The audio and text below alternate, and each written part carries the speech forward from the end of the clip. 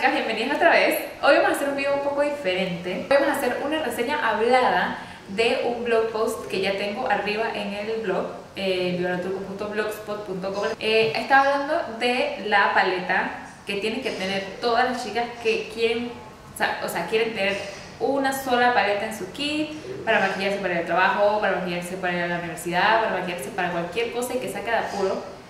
Esta es la paleta ideal.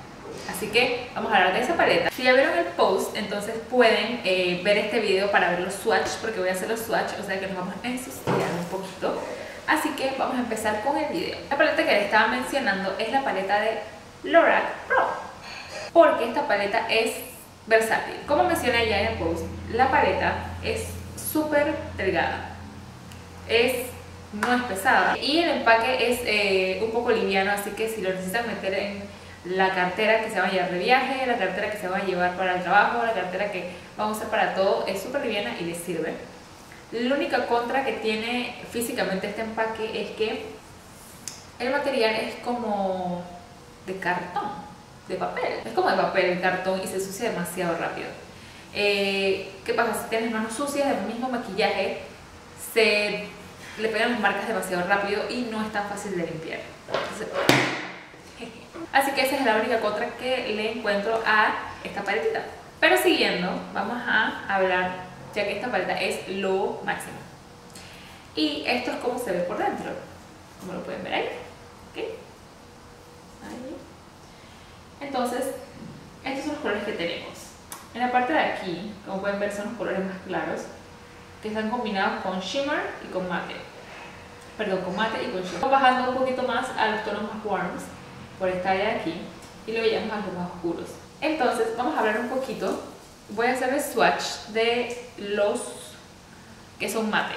Vamos a hacer los manos. Aquí están los colores de la parte de arriba de la paleta en el orden de, bueno, de, mis, de mi derecha a la izquierda están White, Cream, Taupe, LT Pink, Mauve, Sable, Expresso y Black. Como pueden ver, estos son todos los tonos mate, todos los tonos de la parte de arriba. Claro, yo soy un poco blanca, así que no pueden apreciar mucho los colores, pero sí pueden ver la pigmentación. Solamente agarré un poquito de cada uno y la pigmentación es excelente, a mi parecer. Les voy a también dejar la foto por aquí, por si no lograron ver el swatch, y abajo, para que lo vean. Empezamos con el color white. El color white para mí es el perfecto blanco, por si necesitan hacer, digamos, que sea un color de base para un tono más colorido. Es el perfecto para usar en esa área. Eh, no sé para qué más usaría, puede ser para la parte interna del lagrimal, también sirve, porque es un tono tan blanco que puede parecer un poco antinatural. Luego sigue el color cream. El cream es como un tono piel frío, no tira como a peach, es tira como más un, un tono crema pálido, eh, casi sin color, es perfecto para usarlo como base eh, en cualquier look, eh, para debajo del hueso de la ceja, por esta área, pueden usarlo también para que simplemente sea el color del párpado móvil, perfecto para matificar cuando se baja, te vas a poner tu, no sé, el primer del ojo y el concealer y todo eso, sirve específicamente para eso. Tope siento que puede ser un color de transición. O sea, yo lo he usado mucho para color de transición, me encanta. Es suave, eh, como pueden ver ahí. Es suave, es un color bien sencillo. Es más, lo tengo puesto, creo que lo tengo puesto hoy. No sé si lo pueden ver por aquí. Es el color perfecto para transición de, en tonos de pieles blancas porque se nota un poquito más en las pieles, digamos, más bronceadas, no se nota tanto. Así que habría que usar un poquito más, uno más oscuro, que también aparece aquí que para mí puede ser este, pero eso lo haremos ahorita. Luego sigue el LT Pink, otro color para el párpado móvil, es muy bonito, es, es como un tono bebé, rosado, así, bright type de novia. Igualmente lo puedo utilizar para debajo de la ceja, pero no es tan recomendable porque tira un poquito blanco y no se ve natural. Luego sigue Moby, ese es uno de mis colores favoritos, no sé por qué. Es como un tono, ¿cómo lo describo? Es como un tono rosa, pero, ajá, como malva. Es un tono como malva. Rosa malva viejo, es como un rosa viejo también. Entonces sirve mucho, puede servir también como color de transición para que son muy muy blancas, puede servir para el párpado móvil, queda muy bonito eh, el párpado móvil. Y bueno, ya no es tan claro como los otros, así que ese se queda hasta el párpado móvil y como color de transición. Como les decía, sigue Sable o Sable.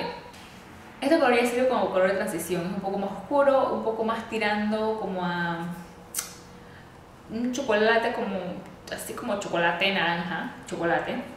No es tan frío, entonces sirve bastante de transición para las pieles un poco más bronceadas, más oscuras. Queda mejor porque se ve un poquito más. Luego está expreso, expreso no, expreso. Está expreso, sirve, lo estoy usando en la cuenca hoy, no sé si lo pueden ver ahí.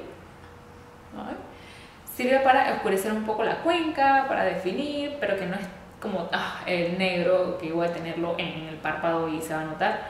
Es como un sutil, es sutil, es un color sutil para usar, para definir la cuenca, el look, whatever, para definir.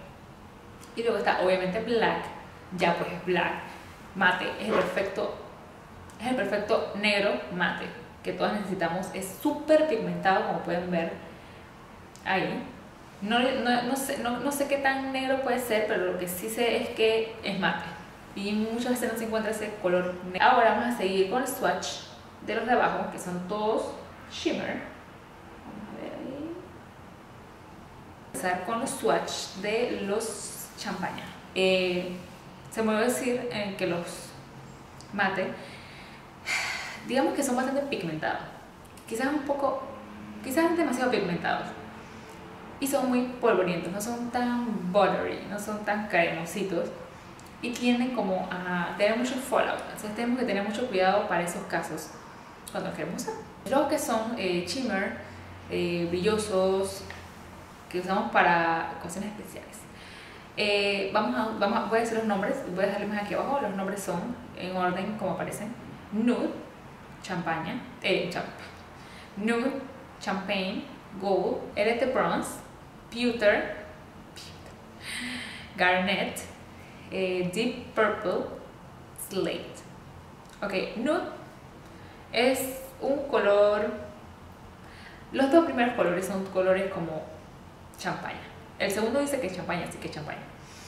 Eh, estos dos son perfectos para cuando se quiere hacer un look de novia, se pone un poquito en el animal, se pone un poquito en el párpado móvil. Son esos dos perfectos para ese tipo de looks de novia, invitada, cosas como muy angelicales, muy suaves, naturales, ese tipo de looks perfectos para la parte interna del animal, para la parte interna del párpado móvil, no tanto para la parte de abajo del hueso porque no me gusta tanto usar shimmer pero, pero no se vería mal. Luego sigue Gold, ese es mi favorito, es mi favorito de todos porque amo el gold. Es un gold bastante puro, no es amarillo, dorado, es como como casi dorado puro. Eh, por eso es que me gusta tanto, no tira a esa, de dorado amarillo y se puede usar perfectamente como para looks bronzy, eh, que me acabo de broncear en la playa, lo puedo usar un poquito en esta área como para iluminar todo tu rostro, me encanta, me fascina. Y lo puedo usar también en el centro del ojo como para darle una dimensión a cualquier sombra que tengas. Este bronze es como un bronce pero como champaña, pero más oscuro. es algo así.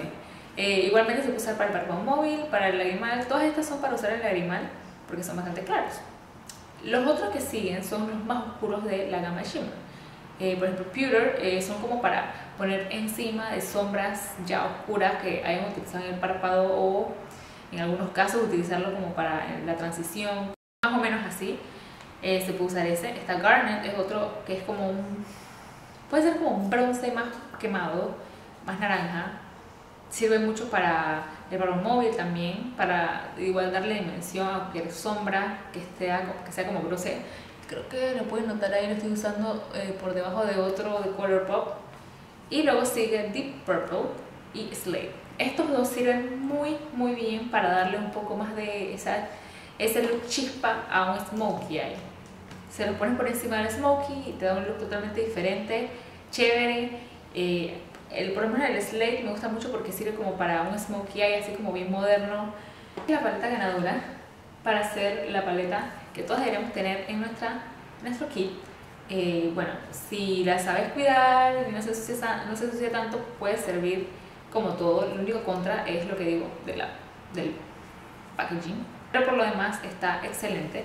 Está más o menos, tiene un precio de 42 dólares.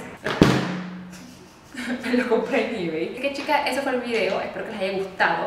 Y si les gustó, pueden dar like, pueden comentarme cuáles fueron sus sombras favoritas de esa paleta o de repente cuáles no fueron sus favoritas de esa paleta, si la tienen, díganme de repente si las usan mucho o cómo las usan o en qué looks han usado esa paleta.